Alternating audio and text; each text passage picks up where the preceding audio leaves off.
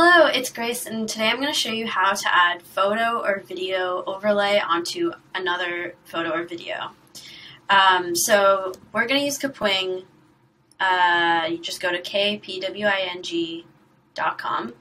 Right on the home page, you can just click Get Started, and you will either start with a blank, blank canvas or you can upload your own files or paste the links to them. So if you're using like YouTube videos or other things, it's really easy to just paste the link.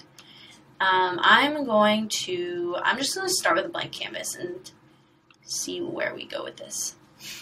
Um, so the first thing that you can do is resize your canvas. So for example, if you're going to be making a YouTube video, I'm going to do the 16-9 aspect ratio.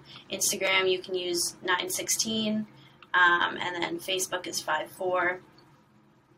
But yeah, up to you. I'm going to just use 16.9. And from here, you can upload your files, or if you've already done that, then move on to the next step. Um, let me see. I downloaded. I'm to, so I want to overlay um, a screencast of my phone with another image. So I'm just gonna upload my the screencast of my phone, and you can see it comes up here.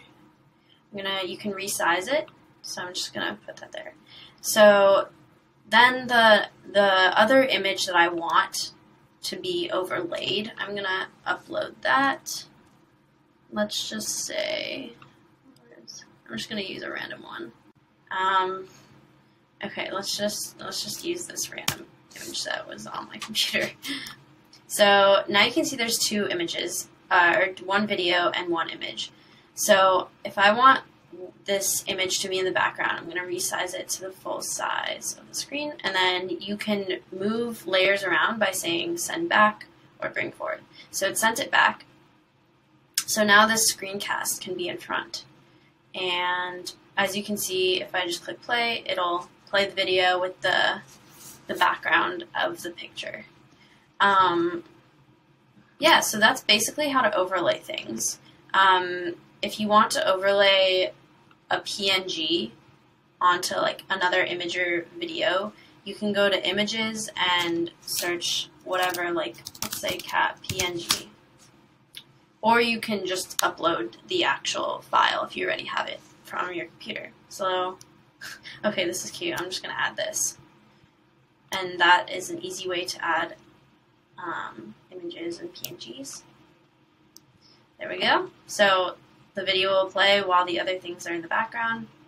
It's a really easy way to overlay different media types onto each other. Um, once you're done with your video, you can click Publish, and then you'll just wait for it to load. And then once you get to the uh, end screen. Let's see. So once you get to the end screen, you can download it, edit it again, make a copy of it, um, or to share it, you can copy and paste the link.